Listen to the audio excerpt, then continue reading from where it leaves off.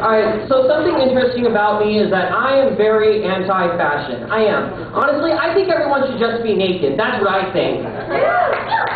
And of course, when I say everybody, I mean Johnny Knoxville, every member of the band AFI, and Del Marquis, the lead guitarist from the Scissor Sisters.